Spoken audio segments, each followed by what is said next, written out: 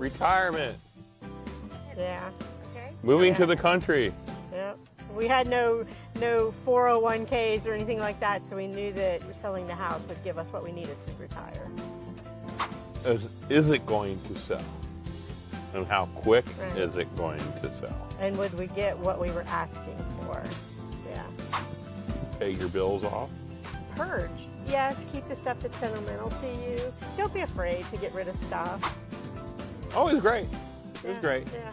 I love that we had a you know a big chat for us, uh, all three. We could all see it. Even if he texted something and I wasn't at home, I would see it. And so it was great that we all, were all on it together at the same time.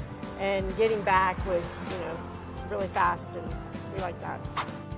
Oh, it was really nice. Everything Yeah. was marketed really well, and and the paperwork on the table, and We had friends of ours were like, "Wow, y'all have a beautiful home," you know. And I said, "Well, it's all because of Hope and her camera." she really is is your best best hope hope in real estate. estate.